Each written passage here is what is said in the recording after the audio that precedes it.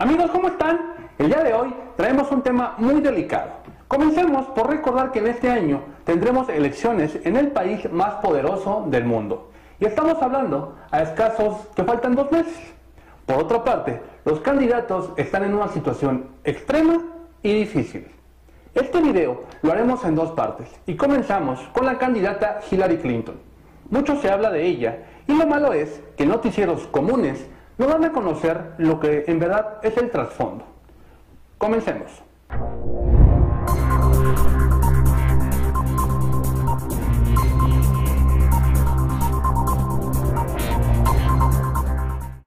Amigos, como lo dijimos en el pre, el día de hoy solamente tocaremos el tema de Hillary Clinton. En nuestro siguiente programa, Donald Trump. Hillary Clinton, una candidata a punto del colapso y enferma. Veamos por qué se los decimos. El 11 de septiembre del 2016, durante el 15 aniversario del autoatentado del 9-11, Hillary Clinton se desmayó en plena ceremonia. Ya no se puede esconder, ya no se puede ocultar. Hillary Clinton está enferma, y no es apta para ser presidenta de los Estados Unidos.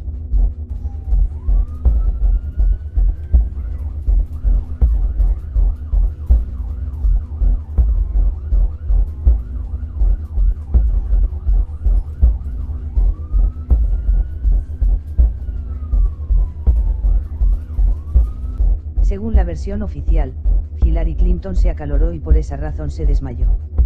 Horas más tarde, su doctora dijo públicamente que la candidata electa a la presidencia de Estados Unidos, tiene neumonía.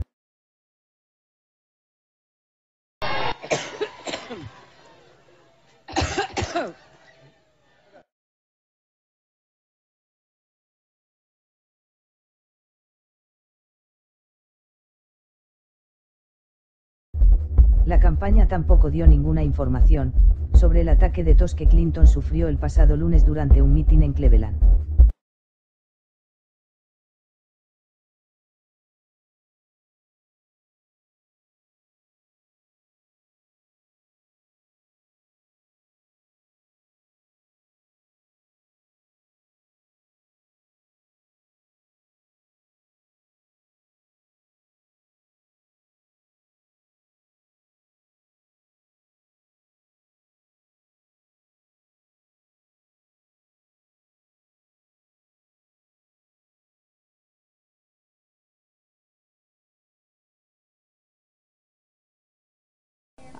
It was great. It was great. I mean, it was a it was a wonderful, um, meaningful endorsement in every way, and I was Did very proud talk to about have. Did you talk about vice presidential possibilities with Senator Warren? You guys. Did